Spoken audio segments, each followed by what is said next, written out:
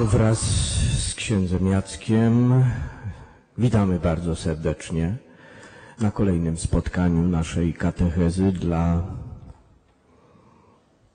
poszukujących, ciekawych, chcących pogłębić e, prawdy wiary. Credo in unum Deum. To już było. Wierzę w jednego Boga. A dzisiaj et in unum Dominum Jezum Christum, filium Dei unigenitum. Tam było unum w tym artykule pierwszym i dzisiaj jest et in unum Dominum Jezum Christum. Czy mamy kolejnego Boga? Wyznanie wiary bardzo podkreśla w tego samego jednego, jedynego Boga, ale Jezusa Chrystusa. Filium Dei unigenitum, Syna Bożego jednorodzonego. I to myślę jest ogromne specyfikum naszej wiary, prawda Jacku? To nie dwóch Bogów mamy, bo potem jeszcze będzie et in spiritum sanctum, dominum et vivificantem i w Ducha Świętego, Pana i Ożywiciela, czyli też Boga, ale nie trzeciego, tego samego, jednego, jedynego Boga. Trzech Bogów czy jeden Bóg?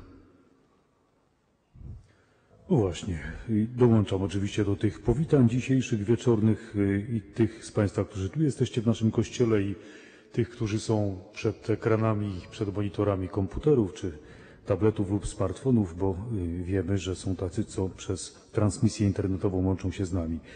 Y, Ja proponuję, Leszku, żebyśmy oczywiście podejmując to wszystko, co zaplanowaliśmy, a obiecaliśmy dzisiaj również naszym widzom i słuchaczom, że y, powiemy trochę o tych relacjach Jezusa Chrystusa także do innych znamienitych postaci, które jakoś ukształtowały dzieje i wierzenia świata.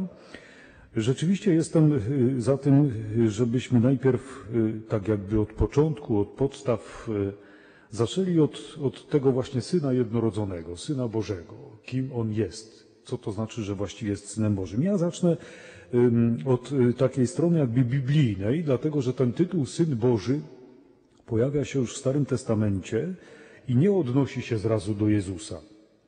On jest znany w Starym Testamencie, y, na przykład w Księdze Wyjścia, tym terminem Syn Boży y, określa autor natchniony naród wybrany, cały Izrael to jest Syn Boży.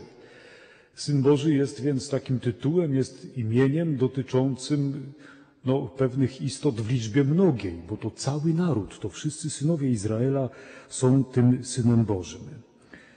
Yy, tytuł Syn Boży przysługuje również królowi Dawidowi i jego potomstwu. To już później też yy, yy, odnosi się do Dawida, tego umiłowanego, wybranego króla Izraela. To ciekawe, bo ten tytuł Syn Boży przysługuje człowiekowi, który no, za święty nie jest, jak znamy dzieje króla Dawida.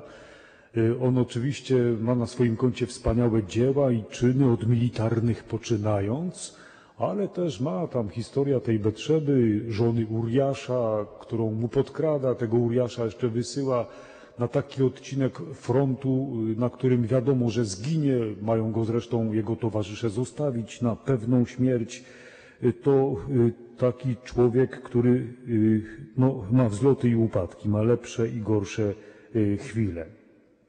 I wreszcie ten tytuł Syn Boży y, w odniesieniu do Jezusa pojawia się dopiero gdzieś w VI wieku, to znaczy przed Chrystusem, w tym czasie, kiedy Jerozolima zostaje zburzona, kiedy Babilończycy dokonują najazdu, Nabuchodonozor uprowadza Izraelitów, do Babilonu, y, żeby tam y, y, zakuć ich w kajdany i przymusić do pracy wszystkich tych rzemieślników, którzy mają jakiś fach w ręku. Wtedy pojawia się w Izraelu ta idea Mesjasza, Syna Bożego, właśnie tego, który wyzwoli Izraela z niewoli, wtedy pojawia się takie rozumienie tego terminu Syn Boży, które potem y, będzie mogło być odniesione do samego Jezusa Chrystusa. Więc popatrzmy, popatrzcie Państwo, jak to pojęcie y, ewoluuje, zmienia się. Syn Boży to najpierw Izrael, cały naród, potem no, ta jego elita z królem Dawidem i, i, no, i Salomonem i tymi władcami, którzy potem niestety w historii schodzą na psy. I wreszcie to jest jakaś nadzieja, to jest jakaś przyszłość. Syn Boży to ten, który ma oswobodzić Izraela w czasach niewoli, w czasach destrukcji, w czasach zburzenia. I wreszcie dochodzimy do Chrystusa, któremu ten tytuł Syn Boży y, przysługuje, jest y, właściwy, którym y, określamy go chociażby w naszym wyznaniu wiary, że jest Synem Bożym. I tutaj jeszcze jedną rzecz bardzo istotną trzeba powiedzieć, bo mówiłeś o tym jednym Bogu, ale w trzech osobach. No w takim razie jak pogodzić kwestię Ojca i Syna? My z takich ludzkich relacji wiemy, że Syn to jest męski potomek Ojca. No Ojciec to co innego, a Syn to co innego. To właściwie nawet z matką syna łączą jakby bliższe więzi, bo przez dziewięć miesięcy połączony jest pępowiną i to, co ta matka zje, to tam jakoś też dokarmia tego y, małego jej syna, a z ojcem jakie są więzi. I tutaj znowu jest taka ciekawa rzecz. W kulturze biblijnej pojęcie ojca i syna zakładają pewną tożsamość. To jest bardzo ciekawe zagadnienie właśnie w takiej tradycji teologii biblijnej, że y, ojciec i syn, trochę tak jak Jezus potem powie, jedno jesteśmy. Ja i ojciec jedno jesteśmy. Co to znaczy? Y, to znaczy, że y, ojciec i syn, chociaż są jakby osobnymi osobami, co właściwie potem jest dopiero wynikiem nauki greckiej, są postrzegani, traktowani jak jedno. To znaczy, jeżeli na przykład ja zrobiłbym coś synowi, uderzyłbym y, jakiegoś Jasia, to będzie traktowane tak, jakbym uderzył jego ojca, powiedzmy tam jakiegoś Zbyszka. Jak Zbyszek swojego syna Jasia przysłał do mnie, to jest tak, jakby on sam był. Oni są jednością. Y, kiedy czytamy Stary Testament, możemy się trochę dziwić, a nawet gorszyć faktem, że Bóg dokonuje kary na potomkach tych, którzy zgrzeszyli. To jest trochę tak jak w Adamie wszyscy umierają, prawda? Adam zgrzeszył, a wszyscy mamy grzech pierworodny. Wszyscy z tą winą się rodzimy. Dlaczego? Bo jesteśmy jakby jedno z Adamem, bo mamy jego cząstkę w sobie. To tak było traktowane. Piśmie Świętym jest takie ładne słowo. Dziadkowie jedli y, kwaśne owoce, a wnukom ścierpły zęby. Tak ładnie mówi Stary Testament. No właśnie, my dzisiaj żyjemy w takich czasach, że każdy ma swoją tożsamość. Ojciec nie odpowiada za długi swojego syna, rozdzielność majątkowa, nic go to nie obchodzi. To każdy odpowiada, skończył 18 lat i każdy sam odpowiada przed prawem i, i, i, i każdy jest traktowany indywidualnie i osobno. A w kulturze biblijnej i w tej teologii biblijnej tak nie jest. Ojciec i syn są jakby jedno. Filipie, kto mnie widzi, widzi i Ojca, mówi Jezus. I to niekoniecznie znaczy, że Ojciec ma takie same rysy twarzy jak Jezus, którego widzą. Tylko, no właśnie, kiedy przychodzi Jezus na świat, Bóg przychodzi na świat. To jest może dla nas, ludzi XXI wieku, trochę trudne do zrozumienia, bo my jednak mamy, każdy ma swój PESEL, jesteśmy indywidualni i jesteśmy jedyni, jesteśmy wyjątkowi, Jesteśmy oryginalni każdy, ale w tej tradycji biblijnej, tam, y, w tamtych czasach ojciec i syn są traktowani, no właśnie, trochę tak jak jedno. Co zrobisz synowi, to tak jakbyś zrobił samemu ojcu. Zrobisz dobrze synowi, to y, zrobisz dobrze ojcu. Obrazisz, zranisz syna, zabijesz syna, to jest tak jakbyś zabił ojca. Stąd jest ta konieczność pomszczenia Y, tego golema, takiej instytucji w Starym Testamencie, mściciela, który, y, który, który ma obowiązek y, dokonać zemsty w imieniu tych żyjących, którzy pozostali, jeżeli na jakimś dokonaniu zbrodni. I to jest, myślę, Leszku, dość kluczowe, jeśli chodzi o wytłumaczenie tego tytułu, tej prawdy wiary o Jezusie, Synu, z punktu widzenia Biblii. Cały czas pozostawałeś na poziomie językowym. prawda? Y, Tytuły przeróżne. Syn Boży, y, Syn Człowieczy też się pojawi, Mesjasz, y, Bóg Ojciec. Taki jest język. Y, Język y, sprawia, że pozostajemy po trosze w jego niewoli, y, bo język narzuca nam pewien rygor myślenia. Ojciec, syn, syn, ojciec y, i tak dalej. Ale jednocześnie język nas na coś otwiera. Y, Tu widać, że Biblia jest zapisana takim językiem, który czuwa. Jest to język czuwający. Język, który natychmiast y, znajduje, chce znaleźć, próbuje znaleźć y, jakiś termin, jakieś słowo, które dokładnie, w miarę dokładnie, na miarę języka ludzkiego, chce jakąś rzeczywistość wyświetlić. Język czuwający, język, który nieustannie próbuje się dopasować, próbuje uchwycić niewyrażalną zresztą w żadnym języku rzeczywistość Boga. Język giętki, język pełen y, metafor, pełen różnego rodzaju figur stylistycznych. Ale to jest język, który nieustannie jest w gotowości. I to jest przedziwne. Prawda? Takim językiem jest napisana Biblia. Język, który y, wie, że ma swoje granice, ale jednocześnie ciągle te granice próbuje przekraczać. I teraz co? Y, Mamy y, rzeczywiście tajemnicę nie do przejrzenia, bo przecież jest jeden Bóg, ale jest Bóg Ojciec i Bóg Syn Boży. I teraz, gdybyśmy chcieli y, do tej tak bardzo nieprzejrzystej rzeczywistości dla nas zastosować język najprostszy, jaki jest możliwy, czyli język bytu. Kim jest Bóg? Język bytu powie najdoskonalszym istnieniem.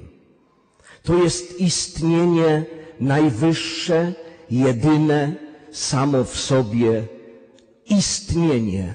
Bóg jest kimś, kto istnieje naprawdę.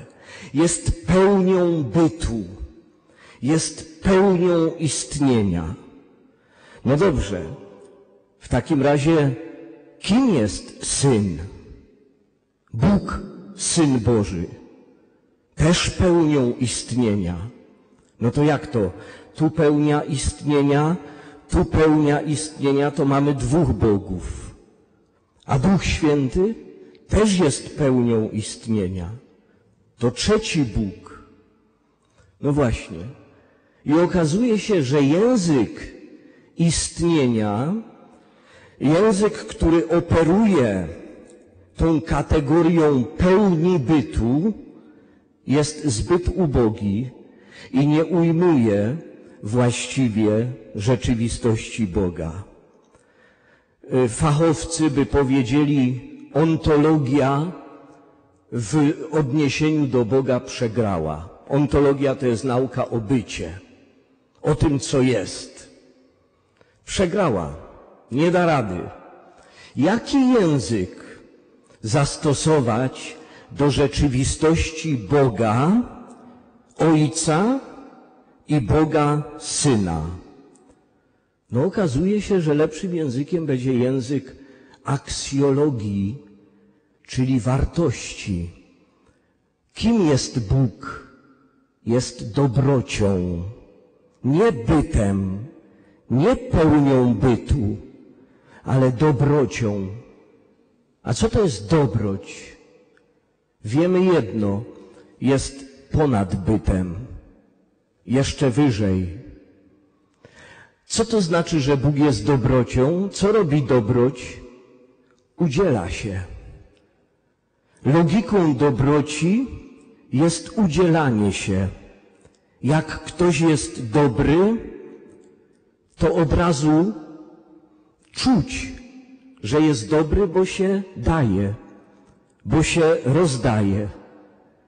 A zatem dobroć jest taką rzeczywistością, która sprawia, że Bóg siebie daje.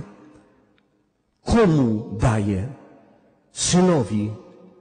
A syn komu siebie daje? Ojcu i dalej. I daje wszystkim ludziom, sprawiając, że ludzie stają się też synami Boga. Dobroć jest rozlewna, rozlewa się, nie znajduje granic. Dla dobroci nie ma granic.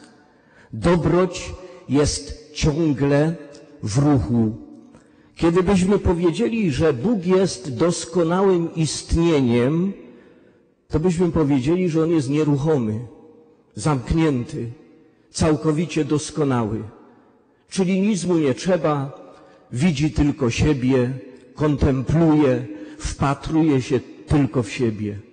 A dobroć rozlewa się, idzie dalej, idzie ciągle dalej. Prawda?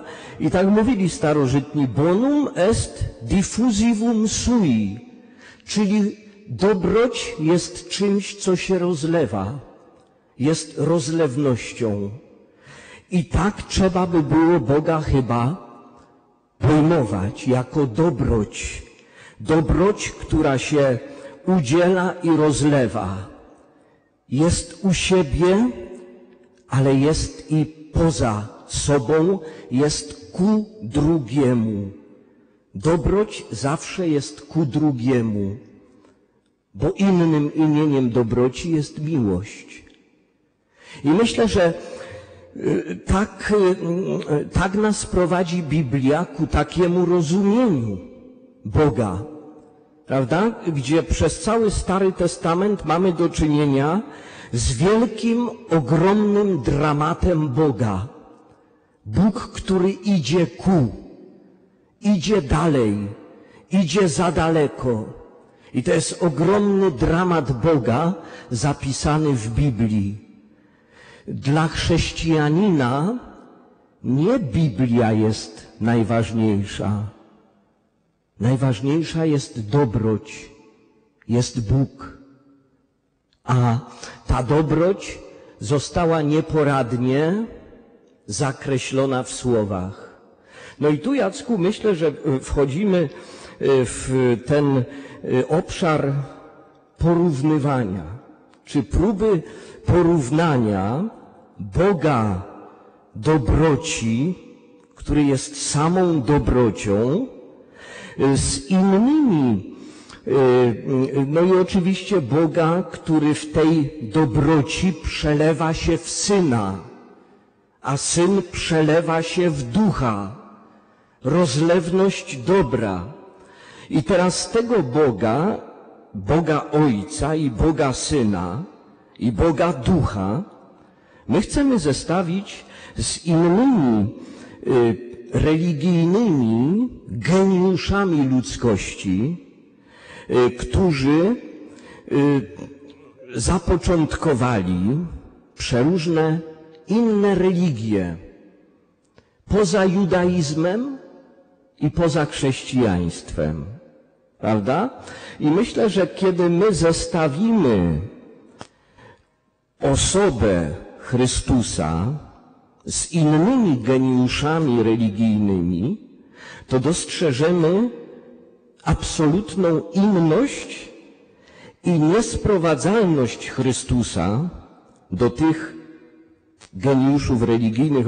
Oczywiście nie mamy czasu, żeby z wszystkimi y, Chrystusa porównywać, ale wybierzemy takie najbardziej znaczące postacie. Leszku, y, pozwól jeszcze, y, jeśli tylko mogę, że, bo w ogóle fajnie powiedziałeś o tym słowie. No, no tak, no popatrz. Enarchean hologos. Na początku było słowo. To jest jakby pierwsze imię Jezusa w Ewangelii Świętego Jana. Na początku było słowo. Tak, y, rzeczywiście mnie się bardzo podoba to, co mówisz. Ja, ja może to troszeczkę Państwu jeszcze, ja przetłumaczę Państwu, co Leszek powiedział, na, na prostszy język troszeczkę. To jest, y, nie wiem, czy y, zgodzisz się ze mną, mam nadzieję, że tak, że, że to jest trochę tak jak z chlebem. Jak upieczesz chleb, to no, możesz powiedzieć, że on jest dobry tylko na podstawie jakichś wcześniejszych doświadczeń z chlebem, ale nie wiesz, czy on jest dobry, do, dopóki go nie skosztujesz. Dopiero wtedy, jak, wiesz, jakbym ja upiekł chleb i ci powiedział, Leszek, mam dobry chleb, no to co mi powiesz? Daj spróbować, daj gryza. Dopiero jak ci dam ten chleb, ty go y, ugryziesz, y, zjesz kawałek, będziesz mógł stwierdzić, że on jest dobry. I na końcu co z tym chlebem się stanie? No on gdzieś tam znajdzie się w tobie, będzie cię budował. Ja myślę, że to jest takie może trochę chropawe, ale y, ujęcie tajemnicy Trójcy Świętej. Bóg to jest taki upieczony chleb. Ojciec. Syn to jest ten kawałek chleba, który ja ci daję, a duch to jest ten chleb, kawałek chleba, którego, który ty spożyłeś, który buduje twoje ciało, który jest w tobie. Y, y, Oczywiście tu pewnie Państwo jeszcze nie raz usłyszycie, jak my próbujemy przy pomocy takich porównań, takich metafor właściwie y, wytłumaczyć, uszczknąć tajemnicę Trójcy Świętej, ale to porównanie z tym dobrym chlebem, myślę, wy- wydaje, że jest o tyle dobre co najmniej z dwóch powodów. Po pierwsze, no, Leszku, pozwól, że zanim przejdziemy do porównania Jezusa z tymi wielkimi innymi w świecie, to, to jeszcze właściwie no, trzeba byłoby powiedzieć o Jego tożsamości, o kim my właściwie mówimy. Jezus Chrystus, powiedzieliśmy o tym Synu Bożym. Mówiłeś o Synu Człowieczym, wspomniałeś. To jest tytuł, który pojawia się na kartach Ewangelii ponad 80 razy we wszystkich Ewangeliach. Jezus mówi o sobie Syn Człowieczy. Ten tytuł jest zaczerpnięty z y, księgi proroka Daniela, który ma wizję Syna Człowieczego wstępującego na świat, któremu powierzono panowanie, chwałę, władzę królewską, a służyły mu wszystkie narody, ludy i języki. To jest siódmy rozdział księgi y, proroka y, Daniela. Syn Człowieczy. Jezus mówi o sobie jako o Synu Człowieczym, że przyszedł, że nie ma na czym głowy położyć, że lisy mają nory, ptaki gniazda, a on nie ma miejsca, gdzie by głowę mógł na spoczynek ułożyć, że kiedy przyjdzie Syn Człowieczy, oddzieli tam tych jednych y, od drugich, jak pastor oddziela kozły od owców i tak dalej. Ale zaczęliśmy, sam powiedziałeś ładnie, zacytowałeś credo po ten fragment, wierzę w Jezusa Chrystusa. Tak się zaczyna też Ewangelia według świętego Mateusza. Rodowód, albo właściwie księga rodowodu Jezusa Chrystusa. Jezus Chrystus. To są y, greckie brzmienia hebrajskich odnośników Jeszua, Mesjach. Jezus to znaczy tyle, co y, Bóg zbawia, więc pokazuje to jakieś działanie. To, to można powiedzieć, Bóg dzieli się z nami tym chlebem. Chrystus to tyle, co Mesjach, czyli Mesjasz. Chrystus i Mesjasz to znaczy to samo, to znaczy tyle, co namaszczony, czyli pomazany olejem. Co, co to znaczy? Bo to dla nas dzisiejszych XXI-wiekowych ludzi y, namaszczenie olejem, no nam się tak, y, nie wiem, może drzwi na zawiasach można czymś nasmarować, silnik w samochodzie jakoś naoliwić. Tak, to jest ten starożytny gest, y, który dzisiaj zachowany jest w kościele chociażby przy y, konsekracji y, kapłańskiej w stopniu prezbiteratu i episkopatu. Kiedyś dotyczył także ceremonii koronacji królewskiej. Króla też namaszczano w odrzędzie zresztą bardzo podobnym, niemal bliźniaczym jak konsekracja biskupia. W Starym Testamencie mamy tego proroka Samuela, który nosi olej święty w rogu. No, róg, taki, który tam ma zatyczkę, tam jest olej. Namaszcza Dawida na króla, wcześniej Saula na króla, także otwiera, odtyka ten, ten róg, przy, przykłada go do nasady włosów i wylewa, także ten olej spływa po twarzy, po brodzie, tak samo Aaron został namaszczony na kapłana, na tego sprawującego kult. Namaszczony, to znaczy przesłany, posłany w jakimś celu, mający jakieś zadanie, czy kapłana, czyli kultu, sprawowania kultu, czy też y, króla, czy y, władcy.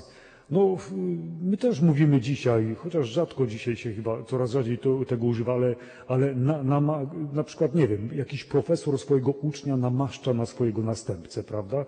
Tak się y, cza, czasami mówi tam na jakiejś katedrze, chociażby na y, uniwersytecie. Nie wiem, może właściciel gospodarstwa rolnego kogoś może namaścić tam na swojego y, następcę w tej, w tej hodowli czy uprawie jakoś tam specjalizowanej w tym gospodarstwie. I mamy jeszcze jeden tytuł ciekawy. On jest zaczerpnięty z proroka Izajasza i powtórzony w Ewangelii Świętego Mateusza. Emanuel. Emanuel to znaczy tyle, co Bóg z nami. Bóg z nami.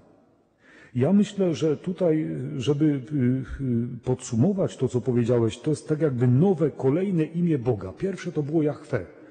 Bóg jest, Bóg jest będący, Bóg jest obecny. Tłumaczyliśmy to w zeszłym roku rozmawiając o dekalogu. Imię Jahwe co znaczy? Znaczy jest, to znaczy w ogóle jest, tak jak ten chleb, który upiekłem.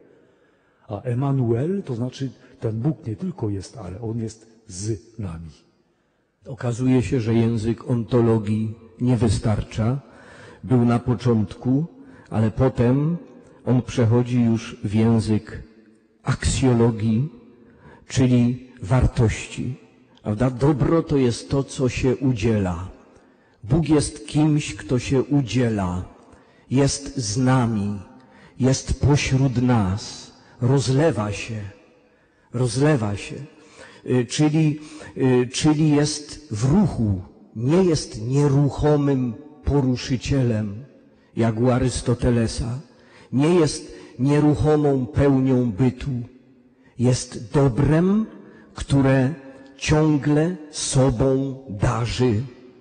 Darzyć, dobro darzy, czyli dobro siebie darowuje, daruje siebie, prawda?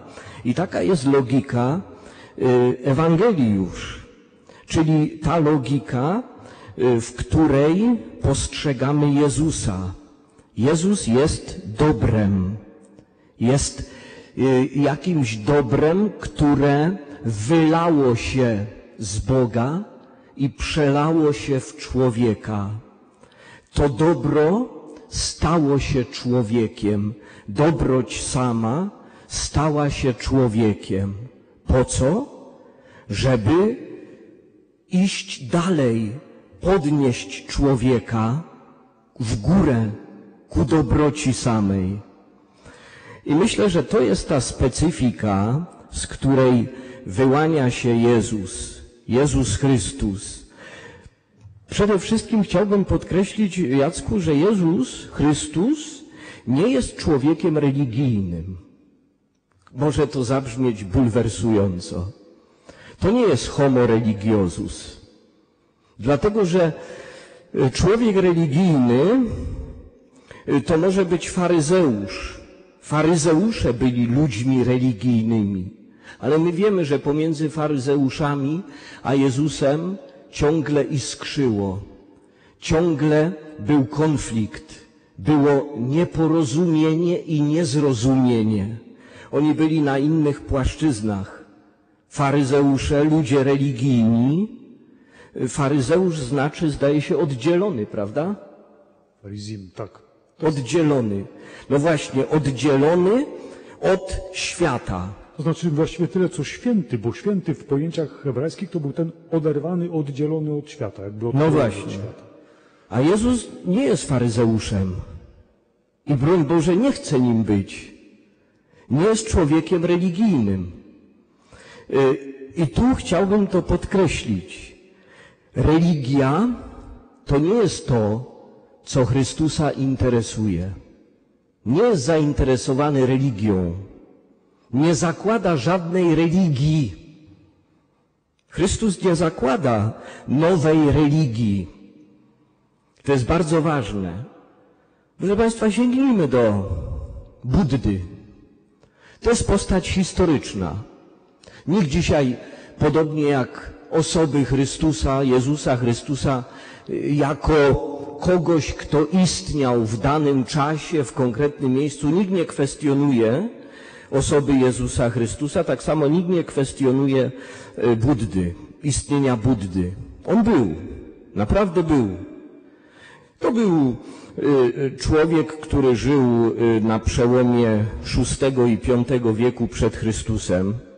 Zdaje się, że w w 530 roku się urodził przed Chrystusem, czyli w VI wieku przed naszą erą, przed Chrystusem, prawda? Urodził się y, w y, kaście, bo, bo Indie to kastowość, to kasty. Urodził się w wysokiej kaście, jakiegoś y, rodzinie jakiegoś dowódcy wojskowego, bardzo wysoko postawionego. Książę Gautama Siddhartha, bo takie było jego imię. Gautama Siddhartha, a potem Buddha, czyli oświecony, czyli przebudzony. Znudzony życiem w pałacach, znudzony światem, postanawia zacząć e, inne życie, nowe, e, wędrowne, ascety, e, kaznodziei. No i tak, i tak sobie żyje, opuszcza rodzinę i idzie w świat. Trochę jak Jezus, trochę jak Jezus Chrystus. Oczywiście on nie ma świadomości jakiejś szczególnej misji, jakiegoś powołania.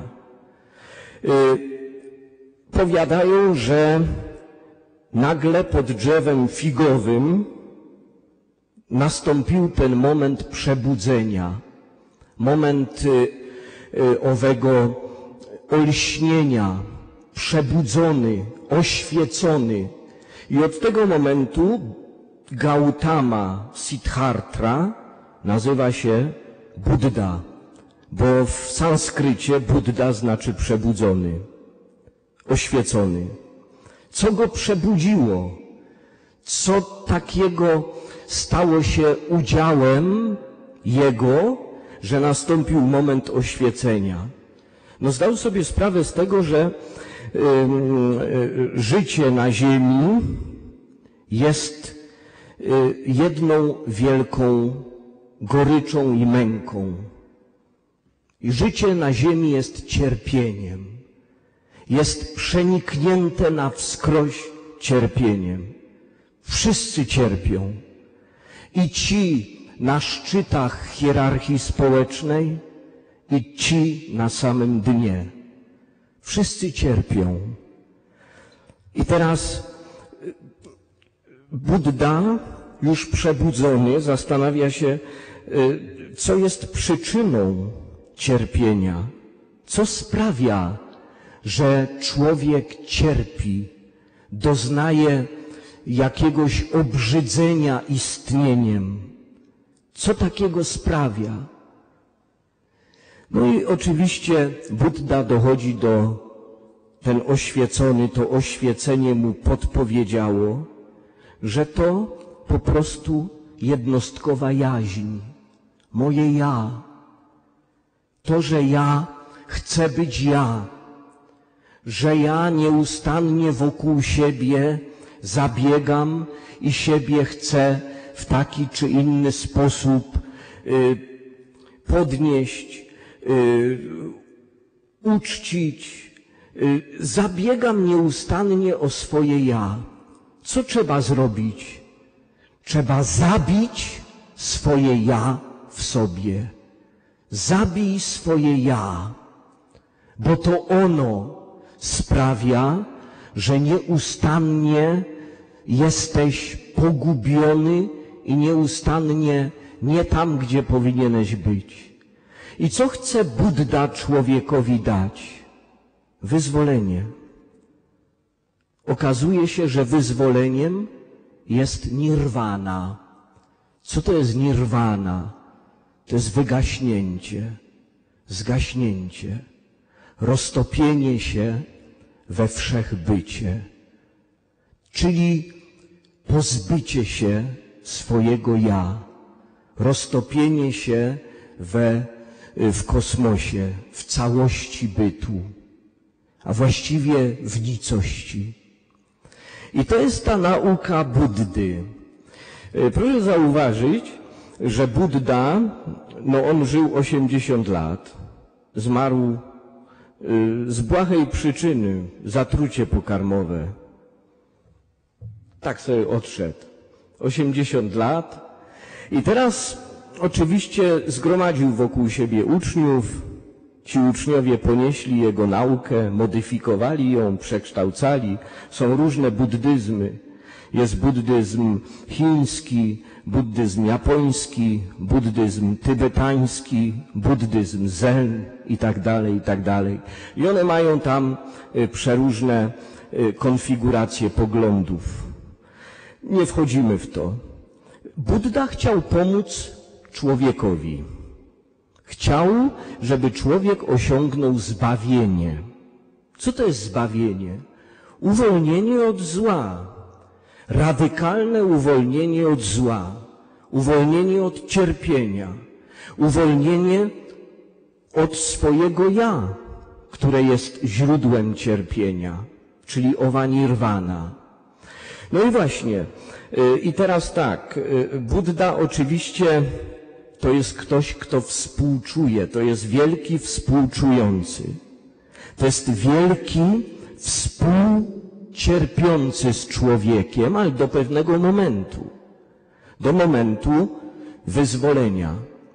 Oczywiście były y, takie nurty w buddyzmie, które mówiły, że z człowiekiem trzeba współcierpieć do samego końca, Y, czyli, czyli trzeba współczuć z nim, współbyć z nim w cierpieniu, aż do samej nirwany. To już są y, szczegóły związane z różnymi szkołami y, buddyzmu. I teraz proszę zauważyć, że Buddę zawsze przedstawia się jako kogoś uśmiechniętego, pogodzonego z wszystkim, w zupełnej harmonii y, y, z, y, z całym światem, bo on doznał owego przebudzenia, owego oświecenia. Siedzi na kwiecie lotosu i jest przeszczęśliwy, uśmiechnięty. Po pierwsze, Buddha nigdy siebie nie ogłaszał Bogiem. Zresztą nie miał takich aspiracji y, w hinduizmie, bo, bo y, Buddha przed y, stworzeniem tej swojej mądrości należał do, do ortodoksyjnej religii hinduskiej. Buddyzm jest pewnego rodzaju herezją w stosunku do ortodoksyjnej hinduskiej religii. Buddha nigdy nie uważał siebie za Boga, zresztą w perspektywie hinduizmu y, to jest nawet niemożliwe. On chciał być nauczycielem, on chciał być mędrcem, on chciał być po prostu i był kimś oświeconym, kimś przebudzonym. I tyle. I teraz, kiedy zestawimy Buddę z Chrystusem, no to właściwie wszelkie płaszczyzny porównawcze znikają. Bo co? Chrystus to nie jest ktoś, kto jest y, uśmiechnięty od ucha do ucha, zadowolony z siebie i ze świata. Chrystus krzyczy na krzyżu, krzyczy w ogromnym cierpieniu. Y, Chrystusowi na tej ziemi nic się nie powiodło. Przeżył zaledwie 33 lata. Y, I właściwie z punktu widzenia y, logiki ziemskiej poniósł klęskę. Y, I to pod każdym względem. Uczniowie uciekli, on został ukrzyżowany jako zbrodniarz, jako jedno wielkie nic, jako, jako najpodlejszy z ludzi. I właściwie wizerunkiem Chrystusa jest cierpienie na krzyżu, a nie tak jak w wypadku Buddy, łagodny, promieniejący uśmiech. Ale proszę zauważyć, że y, y, Gautama Buddha też nie jest w gruncie rzeczy człowiekiem religijnym, jest mędrcem. Jest kimś, kto daje człowiekowi receptę na wyzwolenie, na zbawienie. No ale oczywiście Chrystus też, y, no, gdybyśmy chcieli y, na tej płaszczyźnie widzieć Chrystusa i Buddę, to Chrystus y, nie ma aspiracji, żeby być mędrcem. On nie jest mędrcem. On żadnych mądrości w znaczeniu mądrości ludzkiej, przepisu na zbawienie człowiekowi nie daje. Chrystus nie daje człowiekowi recepty na zbawienie. Chrystus jest zbawieniem. W Nim jest zbawienie. To jest ogromna różnica. Dać jako mędrzec receptę na zbawienie, a być zbawieniem. Y, bardzo często w takim ekumenizmie rozmytym słyszy się takie, y, takie y, teorie, takie przeświadczenia. Właściwie Buddha i Chrystus to jest to samo. Nie ma wielkiej różnicy. Czy my wierzymy w Buddę, czy my uprawiamy buddyzm zen, czy my pozostajemy chrześcijanami, to jest to samo. Nie ma żadnej różnicy. Oczywiście, że jest. I to ogromna. Y, chociażby już y, w tym, że Buddha jest po prostu, należy do tradycji mądrościowej ludzkości. Chrystus nie. Oczywiście można się uprzeć i można z Chrystusa zrobić mędrca. Można zrobić z niego nauczyciela etyki, wzniosłej etyki. Ale to będzie y, całkowite nieporozumienie. To będzie całkowita deformacja postaci Chrystusa. Prawda, Jacku? We Francji XIX-wiecznej, zwłaszcza za sprawą Renault, pojawił się taki nurt, żeby Chrystusa traktować rzeczywiście jako wybitnego człowieka, intelektualistę, mędrca, y, nauczyciela y, moralności. Takie, można powiedzieć, zupełnie Chrystusa jakby hmm, ujmę to w cudzysłów, bezbożnego, pozbawionego tego, tego pierwiastka y, boskiego, że to był wspaniały człowiek, wielki autorytet, y, nawet bohater można powiedzieć, ale nic więcej. Tak, y, tutaj rzeczywiście jest tak, ja tak słuchając tego twojego wywodu o Buddzie i buddyzmie pomyślałem sobie, Budda pokazuje drogę, a Jezus mówi, ja jestem drogą. No To pokazuje prawdę, a Jezus mówi, ja jestem prawdą. Budda gdzieś tam wiedzie do życia poprzez to przebudzenie, oświecenia. Jezus mówi, ja jestem życiem. No tu, jest, tu jest ta zasadnicza różnica między jednym a drugim, między chrześcijaństwem a buddyzmem, między Chrystusem a Buddą. Myślę, Leszku, również, bo z tego, co powiedziałeś, nie chciałbym, żebyśmy, żebyście Państwo odnieśli takie wrażenie, że mm, w tym naszym dzisiejszym dialogu jakoś no, odnosimy się na przykład do Buddy i do buddyzmu z jakimś brakiem szacunku, z jakąś pogardą. Nie, to jest, to jest zupełnie jakby co innego. To, to tutaj myślę, że nawet dyskusja nie ma specjalnie sensu na poziomie, co jest lepsze, chrześcijaństwo czy buddyzm, bo to nie o to chodzi. Właściwie można powiedzieć, są to dwie rzeczywistości nie do końca do siebie porównywalne, bo, bo to jest trochę tak, jakbyśmy porównywali jedzenie rosołu z, z wycieczką na Błatnią, prawda? Co jest lepsze? No, no, to, są, to są dwie zupełnie różne rzeczy. Rzeczywiście to ujmuje, to zachwyca, to porywa w Chrystusie, który nie pokazuje, ale sam się staje. Drogą, prawdą, życiem. On jest bramą owiec, y, on jest y, drzwiami, przez którymi wchodzimy do nieba, on jest tą drabiną, po której wspinamy się do nieba, kiedyś zapowiedzianą przez drabinę Jakubową, zresztą tych zapowiedzi starotestamentalnych odnośnie Jezusa jest y, całe mnóstwo. A więc myślę, że tutaj widzimy, że, że znakomicie Leszku nakreśliłeś te y, różnice. Y, w takim razie no, przejdźmy jeszcze do tej obiecanej jakby drugiej części tej, tych porównań. Bo Wiesz co, ja myślę, że, ja myślę, że chciał, znaczy chciałbym przytoczyć kolejną Y, postać geniusza religijnego tym razem, rzeczywiście geniusza religijnego, Mahometa. Wiemy, jak, y, jak znaczący jest w świecie y, islam. Mahomet też próbuje się zestawiać islam i chrześcijaństwo. Ja już na początku wspominałem, że mówi się, to są, są trzy religie księgi. Judaizm, chrześcijaństwo, islam. Trzy religie abrahamiczne, bo nawiązujące do Abrahama. Judaizm, chrześcijaństwo i islam. I to jest nieprawda. Y, To jest y, jedno z największych zbłądzeń, jakiemu uległ Kościół w ostatnich dziesięcioleciach. Y, No i ulega y, dzisiaj człowiek. Y, Spróbujmy wyjaśnić całą rzecz. Mahomet to urodził się w Mekce w 570 roku naszej ery. Islam jest młodszy niż chrześcijaństwo, o sześć wieków, prawie mniej więcej, prawda?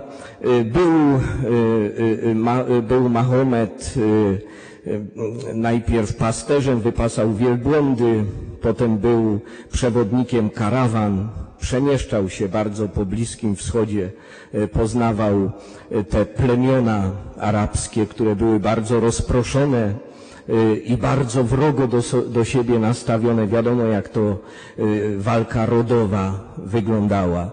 Y, Próbował pojednać te rody, te plemiona Mahomet y, i rzeczywiście był w ten proces jednoczenia plemion arabskich bardzo zaangażowany.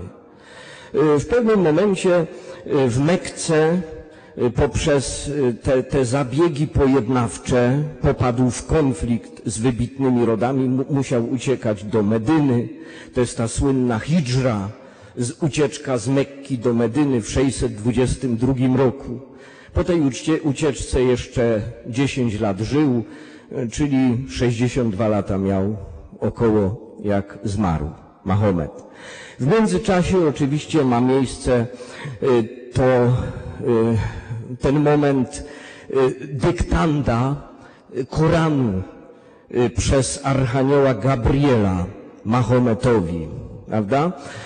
Muzułmanie są przeświadczeni, że Koran należy czytać tylko w języku arabskim, bo to jest lingua sacra, Prawda? Tak jak świętym językiem Hindusów jest sanskryt, Arabów arabski, Żydów hebrajski.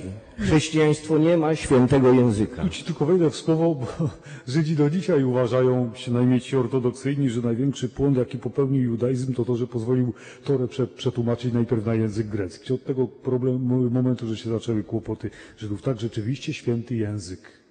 No właśnie, więc muzułmanie też uważają, że Koran należy czytać tylko po arabsku. Absolutnie. Nie, nie wolno go tłumaczyć.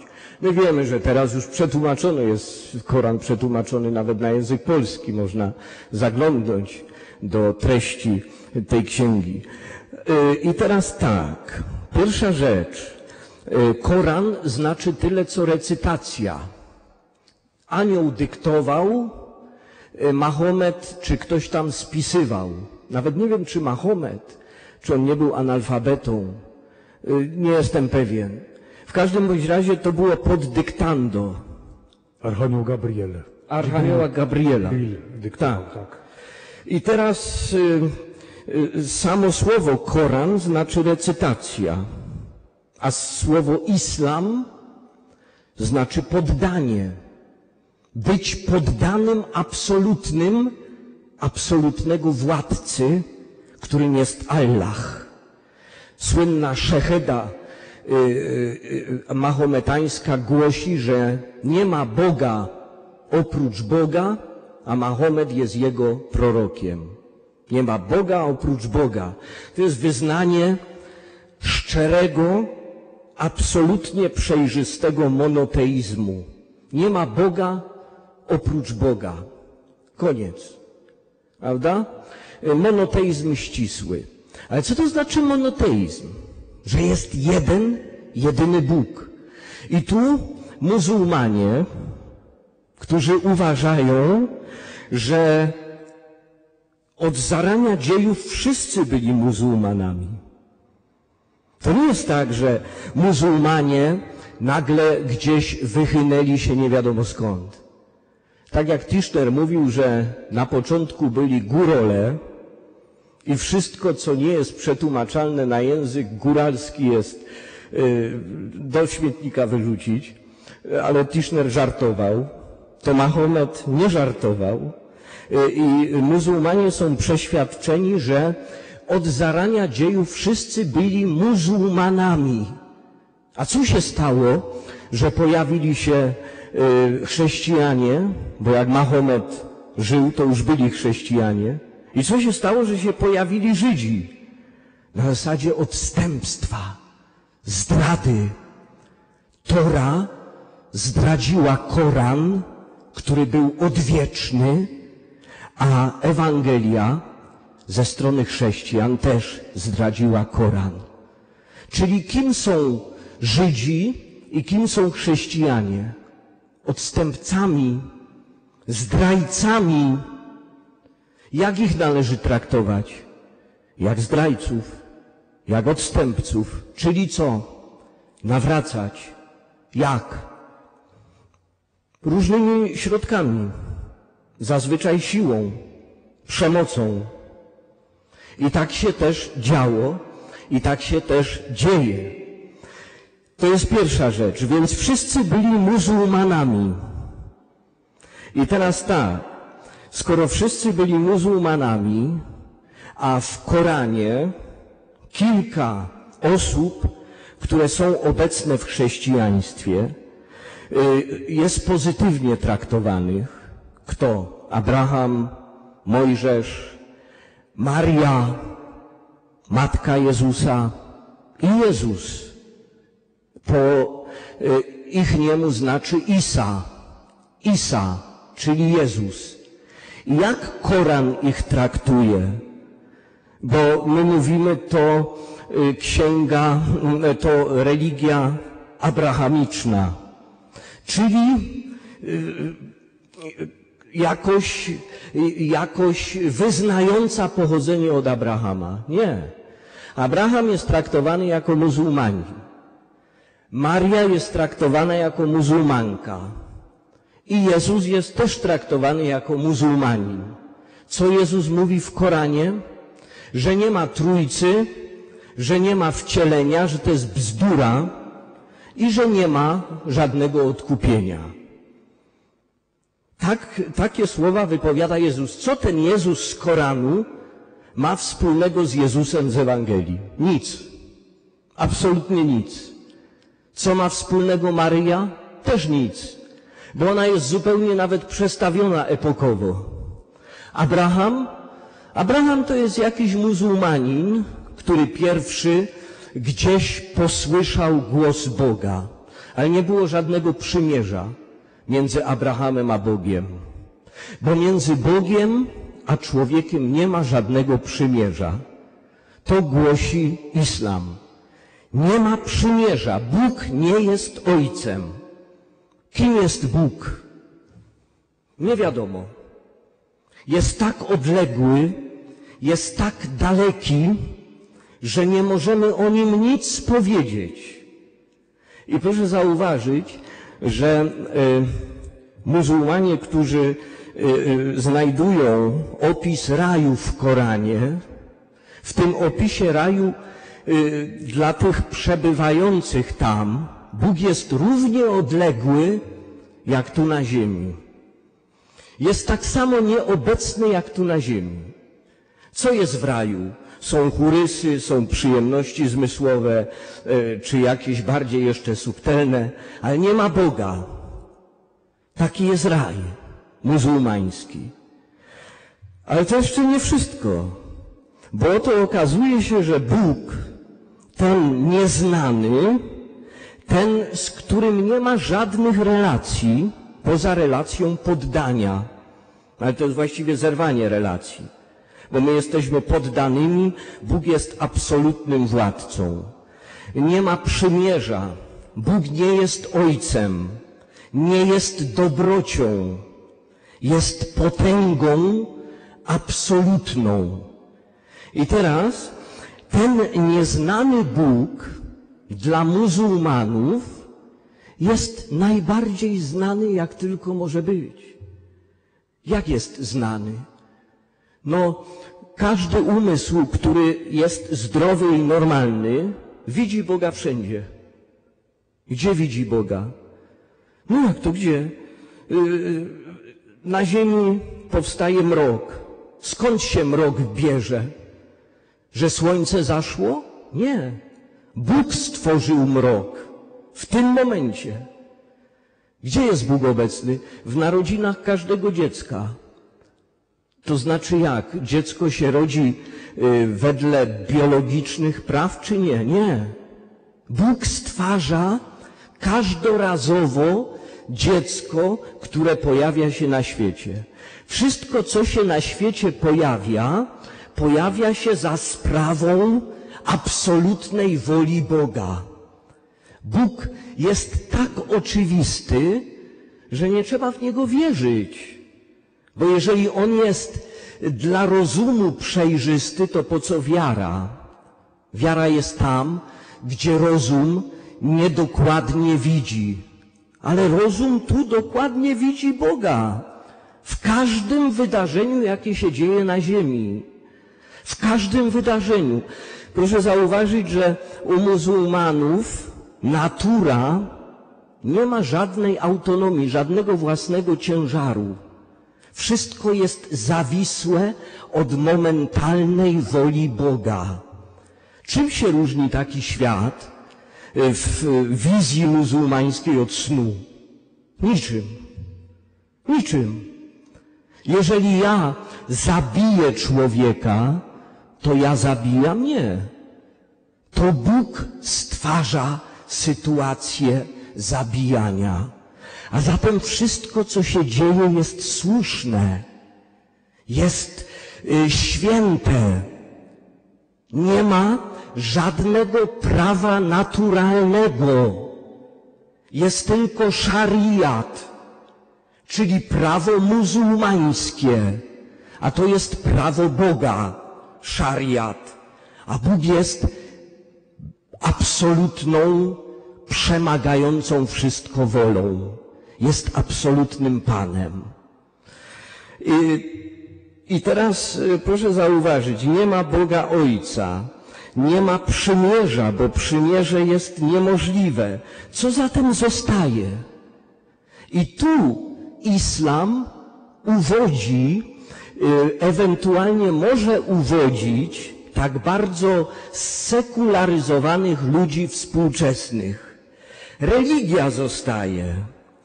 Islam jest religią par excellence, religią w pełnym tego słowa znaczeniu. A co to jest religia? Czy to jest więź z Bogiem? Nie. Religia to jest zespół czynności, które my wykonujemy, podejmujemy, żeby Boga osiągnąć dopiero. Czyli religia to jest co? To są pokłony w meczecie, to są dywaniki, to jest pięciokrotna modlitwa w ciągu dnia, y, to jest y, pielgrzymka do Mekki, y, to jest jałmużna. Post w Ramadanie. post.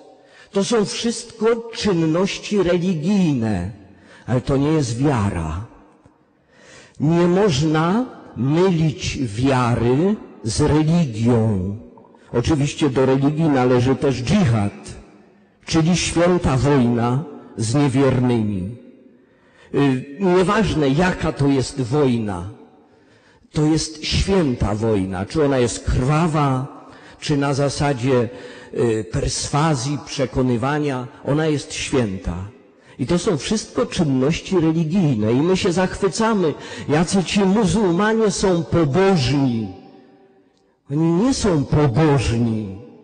Oni są religijni. Religia to jest zespół czynności, które my podejmujemy ze względu na Boga. Ale jaki jest Bóg muzułmanów? Nie wiemy. On jest niepoznawalny, jest absolutnie transcendentny, a jednocześnie jest obecny w każdym najmniejszym poruszeniu świata. Właściwie nawet nie w poruszeniu. On jest tym poruszeniem świata, bo nie ma natury samoistnej, nie ma prawa naturalnego, nie ma prawa innego poza szariatem, czyli prawem Boga. Co ma wspólnego islam z chrześcijaństwem? Nic. A właściwie jedno. Islam jest wrogi każdemu przejawowi chrześcijaństwa. Y, I, i, to, i to płynie z, z jego najgłębszych założeń. Mahomet y, y, źródłowo nienawidził chrześcijan. I potem ta nienawiść przelała się na cały islam. Nie ma żadnych punktów stycznych pomiędzy islamem, chrześcijaństwem czy judaizmem. Proszę zauważyć, chrześcijaństwo z wielką rewerencją, z wielką czcią podchodziło do pogaństwa.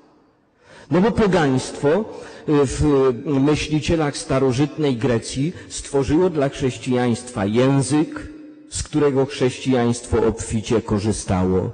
Jeśli chodzi o pojmowanie Boga, jeśli chodzi o całą siatkę pojęciową naszego credo, Chrześcijaństwo nie miało problemu z tym, żeby zaakceptować pogaństwo. Pogaństwo jest bliższe chrześcijaństwu niż islam, który jest pogaństwem do entej potęgi. Jest pogaństwem upartym i pogaństwem zorientowanym na niszczenie wszystkich innych religii. Dlatego, że poza muzułmanami nic nie istnieje. A wszyscy, którzy istnieją, są odstępcami od islamu. Prawda? I teraz y, pogaństwo to starożytnej Grecji, ale i współczesne pogaństwo jest nastawione na dialog z chrześcijaństwem, bo płaszczyzną jest prawo naturalne. Z, z islamem nie ma dialogu, bo tam nie ma prawa naturalnego. Papieże mówili o wzajemności, że my was traktujemy z całym szacunkiem, a wy powinniście to odwzajemnić. Czego oczekiwali? Jakiej wzajemności? Wzajemność jest tam, gdzie są zachowane normy prawa naturalnego. W islamie takich nie ma. Leszku, kończymy. Niestety, czas płynie nieubłagalnie. Ja tylko powiem krótko na podsumowanie dwie rzeczy. Po pierwsze, że w kontekście tego, co powiedział Leszek, myślę, że Państwo czujecie, jak ważne jest to imię Jezusa Emanuel, Bóg jednak z nami. Tego nie ma ani w przypadku buddyzmu, ani tym bardziej w przypadku islamu. Absolutnie. Absolutnie. A wyjątkowość chrześcijaństwa polega na tym, że Bóg jest z nami. Emanuel. Ten Bóg, który jest z nami, nie czyni żadnych rozróżnień nie ma, że ci są gorsi, ci lepsi, ci się urodzili bogacie, a ci biedniej, że są z takiej czy innej kasty, że ci są nasi, a z tamtymi, co nie są nasi, to będziemy walczyć na śmierć i życie. Jezus jest otwarty na cały świat. Przyszedłem ogień rzucić na ziemię, jakże pragnę, żeby on już zapłonął. Ogień wiary, ogień gorliwości. Pozwól Leszku, że ja podsumuję takim może trochę naiwnym opowiadaniem czy anegdotą. Y, może Państwo słyszeliście, jak to jeden biedak wpadł do dziury, takiej głębokiej, że nie mógł stamtąd sam wyleść. No, szedł, zagapił się i wpadł do dziury. Przechodził tamtędy Budda, zobaczył go w tej dziurze, że on tam płacze, pochylił się nad nim i mówi, wiesz co, podam ci rękę, wyciągnę cię, ale musisz mnie dosięgnąć. Musisz podjąć wysiłek. Musisz zrozumieć, że jak mnie chwycisz za rękę, to ja cię wyciągnę. Próbował ten biedny, jak podskakiwał, no ale nie osiągnął. Przechodził Mahomet, zobaczył tego biedaka w dziurze i mówi mu, no, to, to tak, właśnie taka jest wola Boga, musiałeś coś nabroić, że tam wpadłeś. Tak, Bóg tak chciał. Bóg tak chciał, że tam wpadłeś. Dobrze ci tak. Przechodził Jezus, zobaczył tego biedaka w tej dziurze, że on tam siedzi i co zrobił? Wskoczył do tej dziury. Pochylił się, pozwolił mu się wspiąć na swój grzbiet i w ten sposób go wyciągnął na powierzchnię. Taka prosta, nawet prostacka historia, ale myślę, że y, żeby się Państwu troszeczkę to zapamiętało, o czym dzisiaj mówiliśmy, to myślę, że warto tę historię zapamiętać. Ona tak w bardzo uproszczony, schematyczny sposób, ale właśnie pokazuje, kim jest Jezus, szczególnie na tle tych postaci, o których mówiliśmy dzisiaj, o których mówił Leszek, Buddy czy Mahometa i jak ma się do mnie, do, do człowieka dzisiaj XXI wieku Jezus, a jakby się miał ewentualnie twórca buddyzmu czy twórca islamu. Zapraszamy Państwa, dziękując za uwagę, za przybycie na to nasze dzisiejsze dialogowanie za dwa tygodnie, czyli 23 października, w piątek, jak dożyjemy o tej samej porze. Jeżeli nam nie wprowadzą jakiegoś stanu wojennego, covidowego i nie zabronią, ale to myślę, że wtedy będziemy się ratować transmisją internetową. Miejmy nadzieję, że także nie będzie. Życzymy dużo zdrowia wszystkim. Na koniec może i o to zdrowie, ale też o naszą więź z Jezusem, Emanuelem, Bogiem z nami. Pomódlmy się, a Ty, Leszku, nas pobłogosław. Ja jeszcze tylko dopowiem, absolutnie nie głoszę nienawiści do islamu. Yy, oczywiście należy nam się, należy nam się postawa szacunku do ludzi wyznających islam.